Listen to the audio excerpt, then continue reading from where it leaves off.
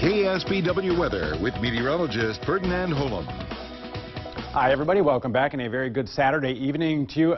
This afternoon, a very lovely day temperature-wise. Not very hot there. Boulder Creek got up to 78. Even the overnight low is not too bad. Mainly 50s for the overnight lows.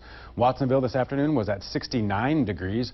On the Monterey Peninsula, mainly 70s, upper 70s for Carmel Valley this afternoon. 78, 72 for Marina, Marina, excuse me. And plenty of 50s for the overnight lows as well. In the Salinas Valley, Salinas 74 all the way down to King City 81 degrees. 70 74 for Gonzales. That was the high temperature. And a little bit warmer up towards the Santa Clara Valley. San Jose 79. Morgan Hill and Gilroy both in the 80s. Hollister 75 today.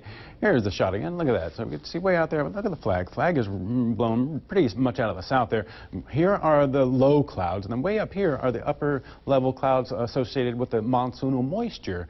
Temperature right now, Monterey 71 degrees. Dew points at 55. And our relative humidity is at 57%. And those are the winds southwest west at just about 12 miles per hour.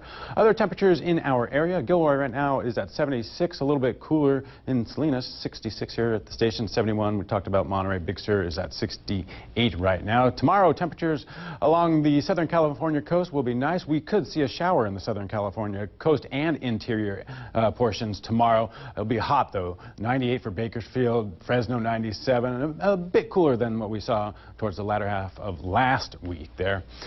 All right, a few areas to talk about here with our national radar map there. This one, this is a pretty big storm here. That's almost like a fall storm there. There's the center of the low, and there's the cold front that went with it. Uh, some tornadoes in there also. Here's another area we're watching in through eastern North Dakota, now going in through uh, Minnesota. Some tornadoes up here. We'll show you the storm reports map there. So let me step over on this side, show you exactly where we had some tornadoes up in through eastern North Dakota. Uh, and then we also have a couple out towards the east coast with that uh, cold front moving through. That's the green dot right about there.